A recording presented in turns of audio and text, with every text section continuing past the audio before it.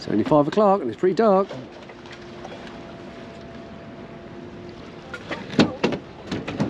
Welcome back to Bailiwick of Guernsey Shipwrecks and we're going to go night diving. But closer to the shore this time. We're going to go and see if we can find any squid or any fish. We're going to go along Havelet Wall as well. Scary enough during the day, so we're going to go during the night. See if there's any congers poking their heads out. Let's get going. We're off. Another night dive.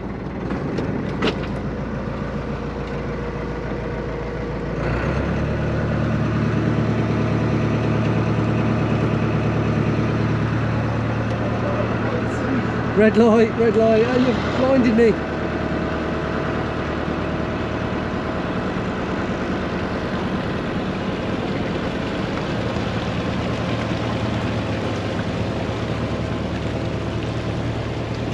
Johnny Dave.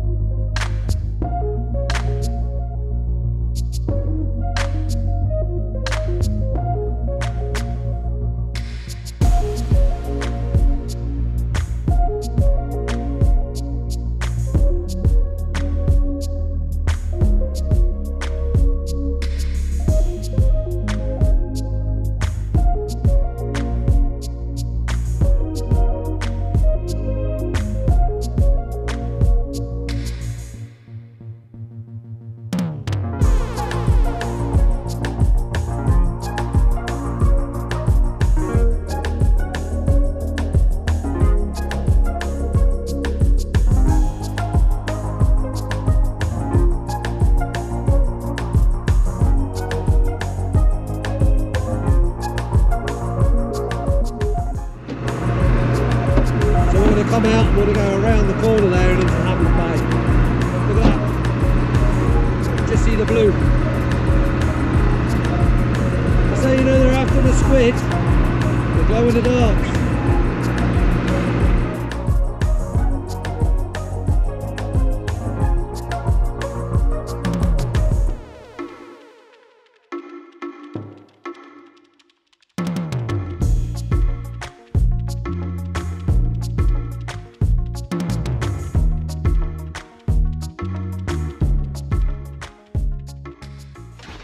What exactly are we going to do here? It's easy to gear up. Well, we're going to go south, Yeah. west, east, back to the boat. And hopefully we see squid. Or something cool. Well, definitely going to see something cool. Because everything comes out at night, we know this. The freaks come out at night. This could be rubbish, it could be really good. Yeah. But for Oh, Molly's it'd be good. benefit, it's, gonna fantastic. be amazing. Yeah. It's going to be good because we're going to be in the water diving. Where that? It's clear. Gone on, into the abyss. See the torches on.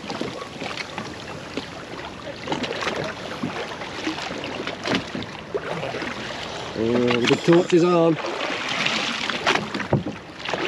It's like a lightsaber, that thing. Look at it. Look. May the force be with you, Obi-Wan. Don't get in the way of it. Sometime. There goes Matt. He's going down the uh, mooring line.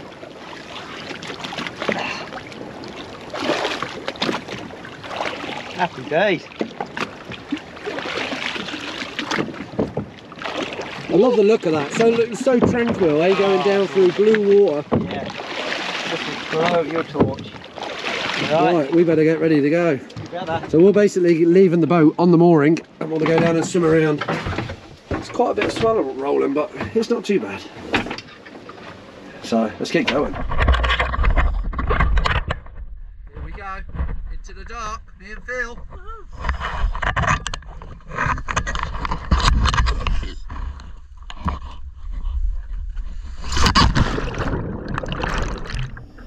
As we head down into the depth of 11 metres, we can see the other boys on the bottom from miles away. It means the viz is going to be quite good. I was expecting it to be a little bit milky, given that there's a bit of swell on the boat, but it looks absolutely fine.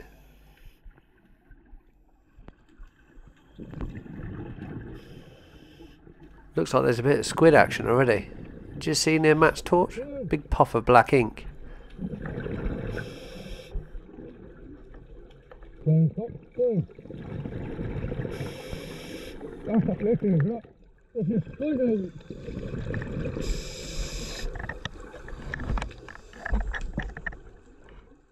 Just turn around and check where my dive buddy is. He's okay, he's behind me.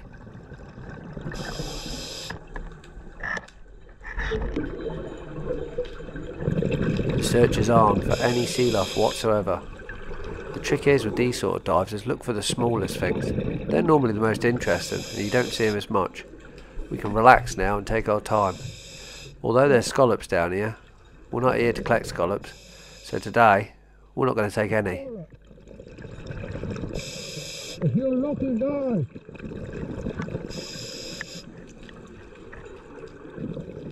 Phil's going ahead scouting out with his torch. My torch is okay for filming stuff, but it doesn't really push right out into the dark.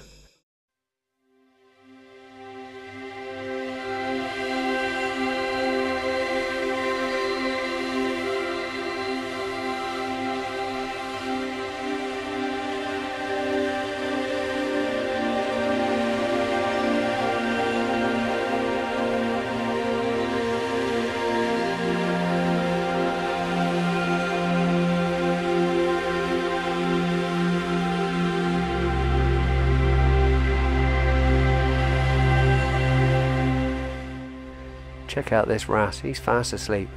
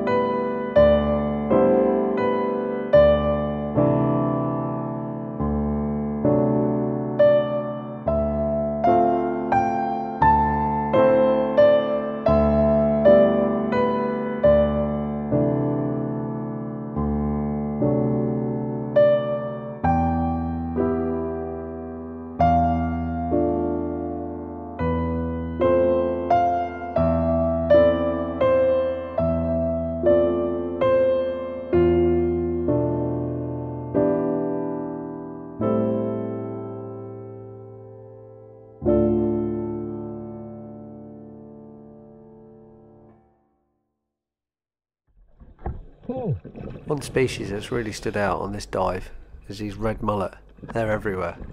These two are quite big.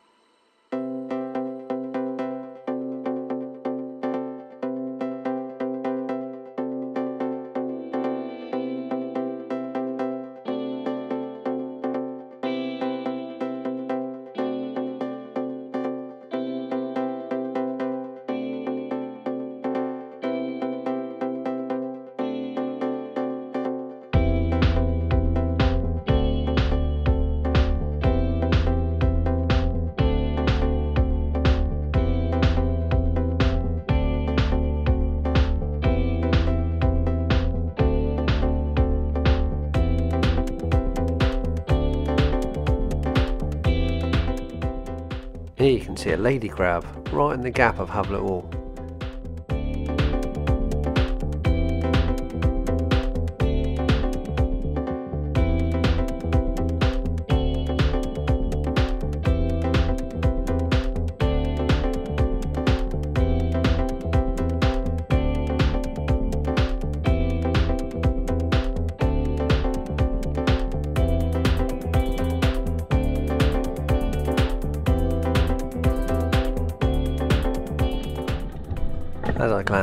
Can see the head torch of one of the fishermen right up on the wall. So it's about time we turned and retreated. We don't want to be in their fishing grounds.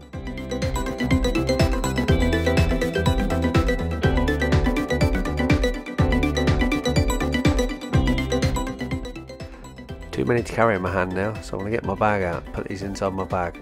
I know I'm going to regret this because they're going to stick in the netting.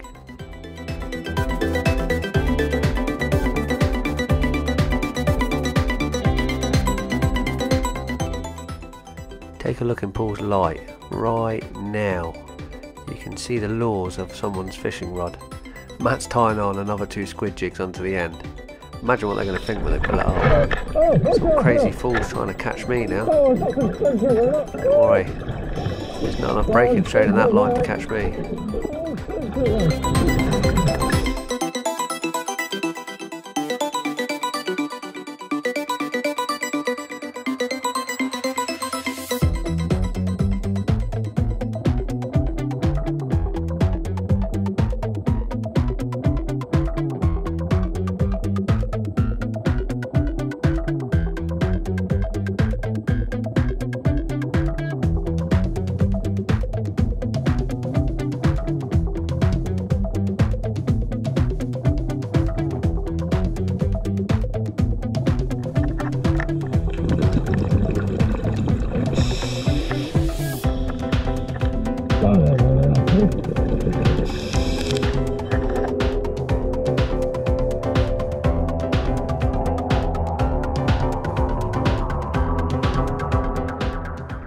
What's this evil looking thing?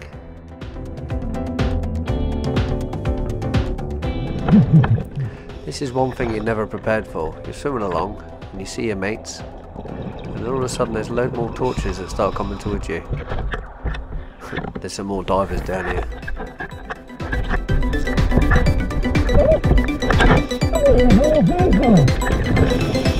I got the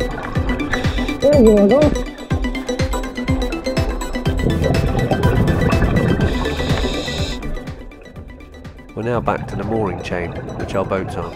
So we'll have a swim around the bottom just to use up the last of our air and then we'll surface. Just as we're about to pack it in and go back up to the boat, Phil notices this little beauty. It's a Couch's bream, named after Jonathan Couch. Jonathan Couch was a Cornish naturalist. He lived from 1789 to 1870 and he discovered this species in British waters. These things can grow pretty long, almost up to a metre.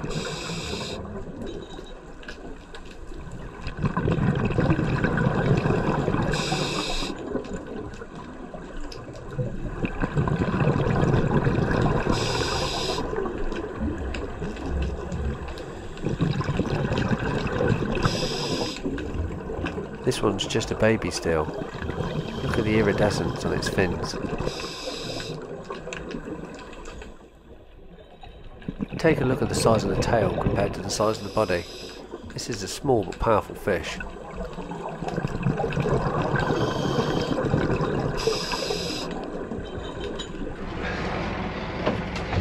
Considering we don't do many of these, that was pretty good, eh Matt? That was really, really good. Yeah. Seen a lot of life. Thoroughly enjoyed that. All sorts, just the little things with uh, these shore dives. Just take your time and just stare at the littlest things. The big fish are nice. There's so much red mullet in there, eh? There's red Ah, red mullet everywhere. There's So- little, little feelers like that. Yeah, the old uh, barbs. Having a feed. Some big ones as well. So, there's Castle Corner. Out the stern window. Oh, we got divers on our stern. Yeah, we got divers just in the water here, I think, Matt. Yeah. There they are, look, they're on the surface as well. So randomly, we were down there, we were down there and uh, some more divers just started flashing, doing the circle sign. We're like, hey, hang on, there's four of us. Must be more people down here. So some people had the same idea we did. And there's another, there's another boat, another boat on anchor to our port side, probably 25 metres away. So we're not going to move until uh, their divers are out the water because you can't see them in the dark. Where are they? They're just here, look. On the end of my red hand. Finger looks like a hot dog. Foot long. So, here's the other boat. We're going to head in. I think I done quite well on uh, retrieving fishing gear. Scallops every Yes. Tell you what, we could have caught some scallops. They were I the could- I lucky, could have got a lucky couple of them scallops. for We, did no one bring any scallops up? Nah. Not me. Oh, lucky, lucky scallops. Keeney's going to be watching this, screaming at us. You head out towards his stern, you should be alright, Matt. Right, we're heading back in now.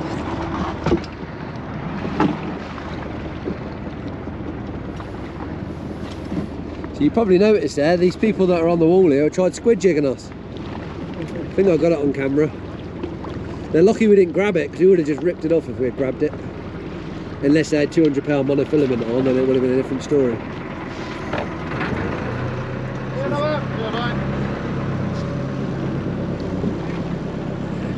Jerry!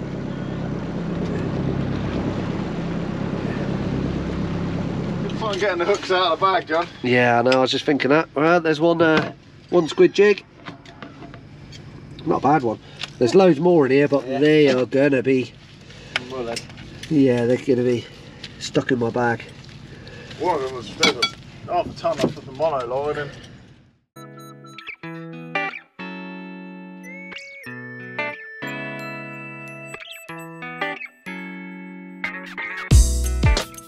Yeah.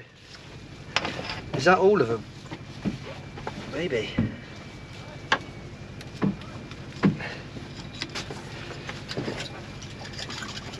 Yeah, that's all today's finds. Favourite's that one.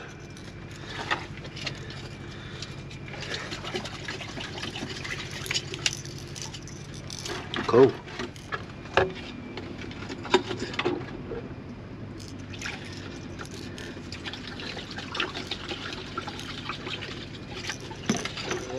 Yeah, nice one. Oh, look, look at that. Little uh, Codd bottle with the stopper still in it. That's Very cool. nice. Yeah, not bad. Quite happy with that. Anyway, that's the first of many. I think we're going to do a load more uh, um, Are they called shore dives? They're not really shore dives, are they? They're still off the boat. Or they're shallow. Uh, not quite sure where we're going to go next. Where do you reckon next, Matt? Um, I reckon another wreck yeah. Another wreck. and then So, we'll do a shore dive after that. yeah, Proper shore dive. try and keep these Tuesday night uh, dives on the go. Anyway, thanks for coming along, and I'll catch you on the next tide.